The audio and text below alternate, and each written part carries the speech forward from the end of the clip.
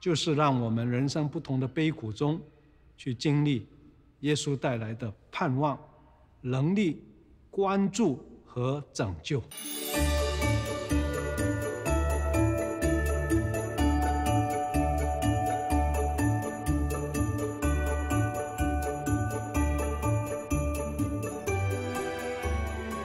弟兄姐妹平安，圣诞节过去了，我不知道这次的圣诞节您有什么感受，但是我看到世界新闻、地方新闻，我常常看见的是世界有苦难，所以让我们想一想，耶稣降生在地上，又给这个苦难世界带来什么影响，有什么关系呢？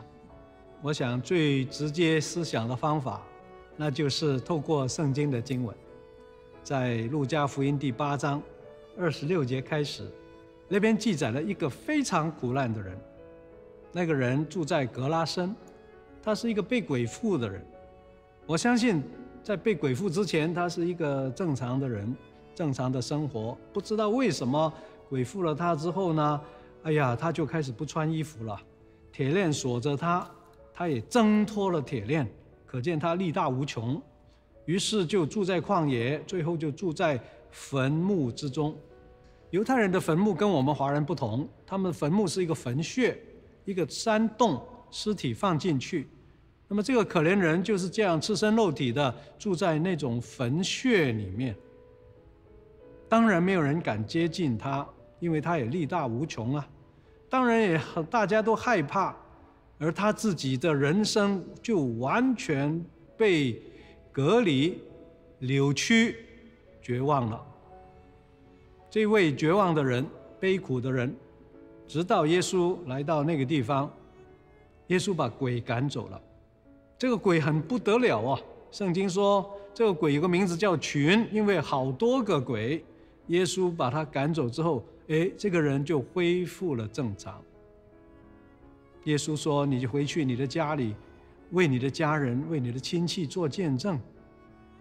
这个人的人生完全改变，这就是耶稣来到世上的目的。当然，我们不是每个人都好像这个悲苦的人这么可怜，被鬼附等等。这是一个典型，这是一个代表性的人物。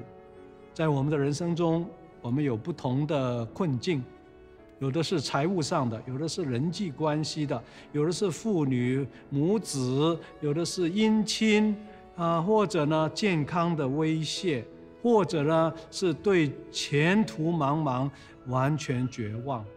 虽然不是鬼父了，不过的确这些的问题就好像那个人的铁链一样捆绑着我们，是吗？耶稣来到世上，圣诞节带来的意义。就是让我们人生不同的悲苦中，去经历耶稣带来的盼望、能力、关注和拯救。下面这首诗歌《生命路程》，真的很实际的描述了人生不同的挑战和困难的时候，耶稣怎么样改变，怎么样带来的盼望。让我们一起来听这首歌。这首歌把真实人生各个层面说得很清楚，让我们一边听一边存着感恩的心，感谢主带领我们经历了这些，也带着一个祷告的心，为你身边有这样困难和需要的人，听诗歌的时候为他祷告，让神的恩典、耶稣基督的拯救和释放进到更多人的人心中。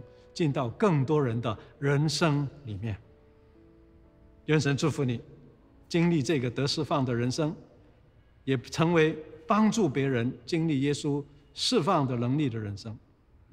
平安。